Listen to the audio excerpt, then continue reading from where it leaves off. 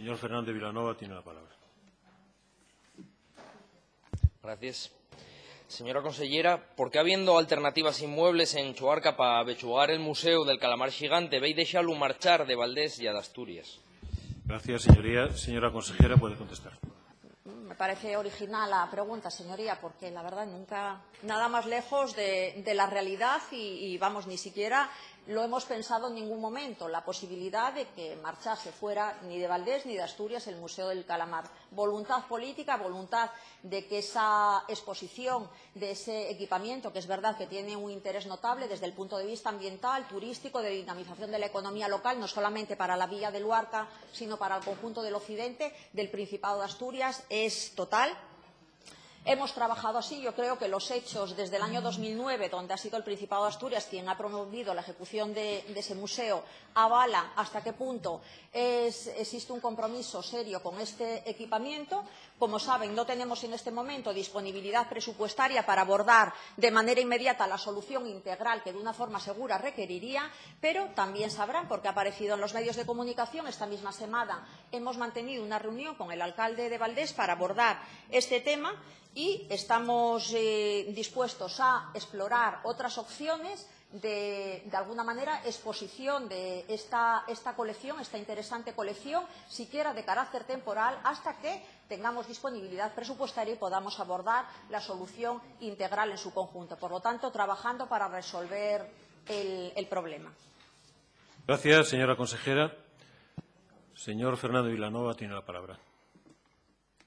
Señora consellera, es evidente que reaccionaron desde que se registró esta pregunta en el Parlamento, eh, pero cabe reflexionar cómo pasaron casi dos años eh, desde que, vamos, lo que fue lo que tardaron en salir de la, de la soplácida indiferencia. Eh, para empezar, eh, a escuitar las voces eh, que no solo en Valdés, sino en toda Asturias estaban pidiendo y eh, estaban, clamando por recuperar esta, muestra de valor incalculable que estaba, fuera. No sabemos en qué mundo idílico estaban, eh, soñando embelesados na su Consellería de Infraestructuras y Medio Ambiente. Igual estaban soñando que se bañaban na, eh, playa de Penarrubia, eh, igual que Fraga en Palomares, mientras eh, museos como el de Historia Natural de Madrid y de París o el, Smithsonian de Washington aprestábanse a mostrar eh, el interés en, en, captar esta muestra. Igual eh, nunca llega eh, na cuenta, diz que sí, pero non lo parece, la importancia como dinamizador turístico deste, eh, deste recurso. Eh, non sabemos si é consciente tamén de que, resultaba determinante para financiar al propio CEPESMA na súa actividade que agora desempeña la, eh, la guardería en sin apenas medios. El caso é que hubieron de registrarse unha convocatoria de manifestación e a varias preguntas parlamentarias tamén para pa esconsonala. Norabona por aterrizar, por espabilar e a por empezar a, a traballar, como digo, dous años despois de momento tenemos una ubicación provisional y eso está bien, y era lo mínimo, que menos. Eh, pero nun, eh, máis que, la primer carretilla de escombro que veí tener que empezar a, a esclarear el, desastre y para empezar a recomponer el, desastre que amparó la su consellería nesta ubicación. Ve que nun personalismo en vosté, que falo, que falo de la consellería porque probablemente las responsabilidades capilaricen. De feito, eh, bueno, salvado este primer peligro de poder perder la, colección eh, sobre la campana, pues, y antes de falar de esta ubicación de, definitiva habría muchas preguntas que, responder. Como por ejemplo qué consecuencias tuvo para las arcas públicas esa expropiación, la expropiación ilegal de ese terreno en el 89, eh, por qué se modificó el Plan General de Urbanismo de, de Chuarca para hacer edificable lo que, lo era mar para la demarcación de costas, si eso es legal, ¿Por qué se planificó y autorizó una obra eh, dentro del, pro, del, propio mar, sabiendo las consecuencias que podía tener? ¿Por qué mientras se estaba construyendo en 2009 ya se vieron las consecuencias de, los temporales que esfarraparon la mitad de la obra, valióis con construir un muretín de un metro de altura del que se, reían a carcachadas los pescadores cuando lo vieron? Eh, ¿Por qué, eh, después de acabarlo, y de que volviera a esfarrapar el edificio entero con el equipamiento, volvió a construirse exactamente igual con los mismos materiales para que lo volviera a llevar en 2014. ¿Veis responder a alguien por los dos millones y medio de euros que, que cheva tragaos el mar? Eh, ¿Ya adecuada eh, esa zona para visitas escolares cuando claramente tiene una señal que dice que el que se acerca ahí acércase bajo, la su propia responsabilidad por el peligro que entraña la fuerza de las olas? ¿Y es legal el, volver a construirlo en un terreno que, que yemar? Respondió esto, sí que podríamos empezar a hablar de una ubicación eh, definitiva, ¿no? Y aquí caben dos opciones, o mantenerla actual o buscar una alternativa. A la gente de Valdés y a la gente de Asturias lo que importa es que quede, que quede en, su barca. Evidentemente, eh, que, querrán optar por la que sea la más eficiente de, las dos. La aparentemente única apuesta hasta la fecha tanto para el Ayuntamiento de Valdés como para la su Consellería y el actual. En fin, si pudieran garantizar que no vamos a seguir eh, efectuando una ofrenda de hormigón al mar cada dos años, pues eh, quizá eh, también se aseguraran que, que no es ilegal construir en el mar y, sobre todo, si dicen cuánto nos va a costar, pues quizá en ese caso eh, sí que sea una, opción aceptable. Evidentemente contrapesándola a otras posibles necesidades del Concello de Valdés, como pueda ser solucionar esa depuradora con cuatro millones de euros de sobrecostes que escupe la basura al mar, acabar la traída de aguas, eh, conectar el polígono de Barcia a la red de, eh, de telecomunicaciones, en fin.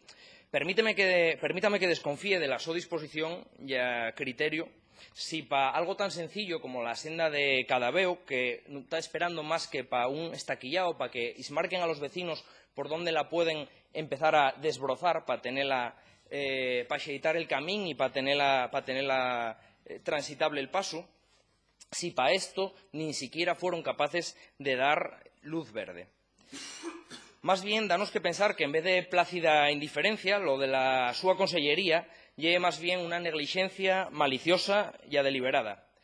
Señora consellera, ¿qué pasa con el calamar? ¿Qué pasa con la senda de, de? ¿Y a quién ye,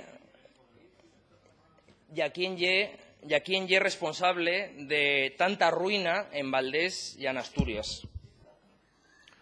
Gracias, señor Fernández Vilanova. Señora consejera, tiene la palabra. Nunca Calamar había dado tanto de sí, señor Vilanova, porque llevamos en escasamente eh, llevamos escasamente, escasamente, escasamente dos meses y medio y veo que compiten los grupos parlamentarios en esta Cámara por patrimonializar la preocupación por el Museo del Calamar. Empezó el Partido Popular, después continuó Foro y ahora cogen ustedes el testigo por tercera vez, interesándose por un equipamiento que, por mucho que intenten ustedes patrimonializarlo, la historia está ahí no se cambia. Ha sido, han sido gobiernos socialistas y ha sido el compromiso político socialista el que ha hecho realidad que el Museo del Calamar haya existido, haya, estado abierto y se haya hecho en el municipio de, Valdés, por el que razón, digamos, o, o, realidad que quiero entender con la que usted está de acuerdo, que esté allí ubicado este, este equipamiento. Mire, yo soy consejera, la verdad es que no soy ni policía ni me dedico a levantar alfombras hasta los anales de la historia.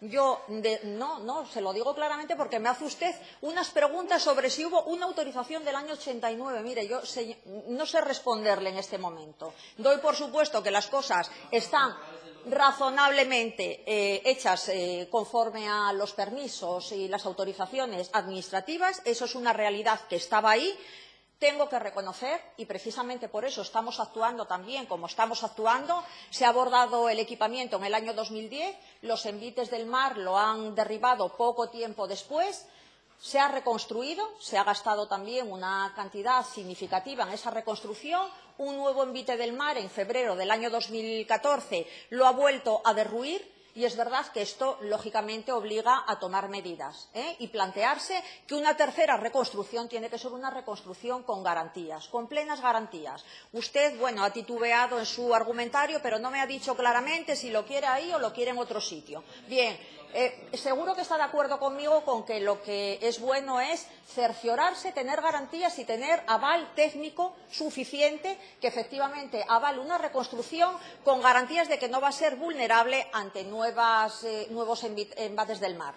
Bueno, pues en ese sentido, lógicamente, estamos trabajando. Muestra adicional de nuestro compromiso más reciente con el equipamiento es el haber hecho un proyecto constructivo para el mismo, medio millón de euros, pero también lo hemos dicho claramente no tenemos presupuesto para abordarlo y, además, no podemos abordarlo en solitario. Necesitamos una solución integral, una solución integral que tenga en cuenta las dificultades del entorno, porque allí, efectivamente, hay un dique y una zona de, bloques que necesita recargas, que son recargas que cuestan a reservas de lo que resulte del proyecto más de millón y medio de euros para que efectivamente ese equipamiento se pueda reconstruir y que no sea vulnerable ante nuevas acciones del oleaje. Y ese es nuestro compromiso y cuando tengamos disponibilidad presupuestaria acometeremos la solución integral. Y entre tanto, como tenemos voluntad política y compromiso con Valdés y lo, se lo hemos trasladado así al responsable de, del ayuntamiento, al alcalde en una reunión que hemos mantenido todavía esta semana, estamos dispuestos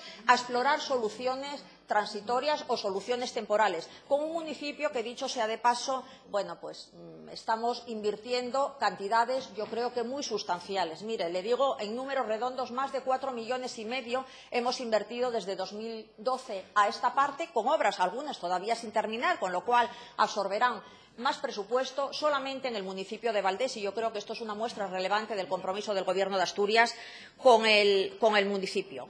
Como le digo, estamos trabajando ahora en la búsqueda de una solución temporal, una solución transitoria. El Ayuntamiento ha quedado en analizar posibles alternativas de la mano de, del CEPESMA, por lo que he leído en los medios de comunicación, también el responsable de este centro ha sido receptivo, digamos, a la solución y, como digo, pues vamos a seguir trabajando en esta senda, la senda de intentar con una solución que ya aviso que por temporal tendrá que ser presupuestariamente mesurada y tendrá que ser presupuestariamente realista, que se pueda llevar a cabo para lo antes posible poder reabrir y poner, digamos, al disfrute público ese equipamiento positivo, que es probablemente lo único que coincidimos, es realmente relevante para la educación ambiental, para la concienciación social con la biodiversidad y para la economía local de, la zona, especialmente para el sector turístico. Gracias, señora consejera. Hemos agotado el orden del día previsto. Se suspende la sesión hasta mañana a las 10 de la mañana.